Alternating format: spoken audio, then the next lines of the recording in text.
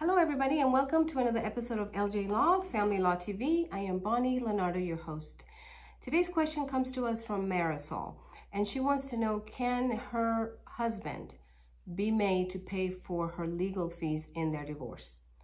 Before I get started with that question, I want to remind you that if you have questions about this topic or any other family law topic, please don't hesitate.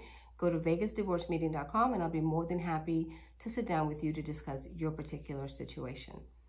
So Marisol is uh, in the process of uh, filing for divorce and uh, she is struggling financially and wants to know if her husband can be made to pay for her legal fees.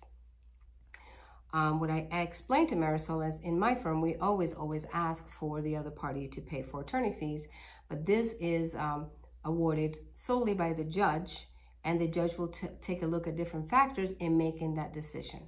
So generally speaking, each spouse in a divorce or a custody case or any legal uh, case is expected to be responsible for paying their own legal fees out of their own resources.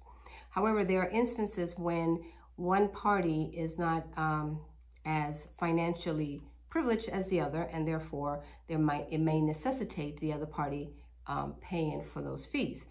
We ask the court in a motion to um, see if the other party will pay for the fees.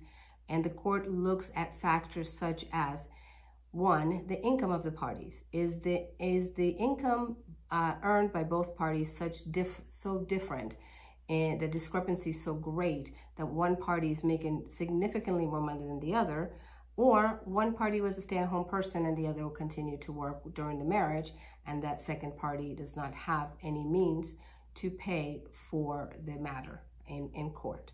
The court looks at that. The court will also look to see if one spouse has control of all the financial uh, institutions, such as bank accounts, credit cards, any means of financial, uh, in financial way that a party can pay uh, is controlled by one party, thus the other party is at a disadvantage and is not able to pay for their legal matter. And the third thing that the court might look at is is the party filing uh, for the divorce, for example, in this case, acting in good faith? Are they doing this? Is this a real um, case that needs is a that has merit? Is um, is the party dragging out the case to force the other party to incur additional and unnecessary legal fees? The court looks at all three factors and possibly more in an effort to keep the parties in equal footing. Everybody must be as equal um, in their representation as possible to make it a fair uh, a fair legal matter. So the court will look at all that to make sure that both parties are on an equal playing field. And if it finds that it necessitates one party paying for the legal fees of the other, the court will order that, but after looking at different factors. So I hope, Marisol, that this has answered your question. Um, if you have further questions, I want to discuss this further, please go to vegasdivorcemeeting.com. I'll be more than happy to sit down with you to discuss this further. If you like the video, please hit the like button. And if you know somebody who can benefit from this information, please don't hesitate and share this video with them. And as always, I want to thank you for tuning in and I will see you next time.